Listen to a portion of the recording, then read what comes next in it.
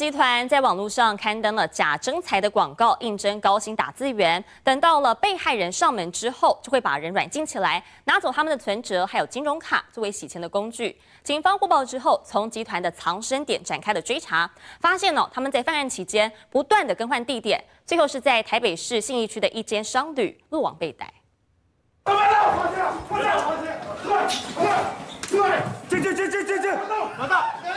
便衣刑警抓准时机破门逮人，里头的人全被吓傻，待在原地一动也不敢动。趴下，趴下，警察，什么都没有事。好，想站好。会这么大阵仗逮人，原来这里是诈骗集团藏身地点。他们在网络上刊登真才广告，应征高薪打字员。等到民众前来面试后，强取他们的存折、金融卡当洗钱工具，还把人软禁起来。专去抓通缉犯。也还还蛮蛮多的，反正有这边有五个门嘛，那个要要堵五个门，你知道有五个门就起码要要最起码要十个以上的。诈骗集团会曝光，原来是日前有一名男子从台中北上应征，没想到他却遭软禁两周，等到他的账户变成警示户被冻结，就被丢包在路边，愤而报警。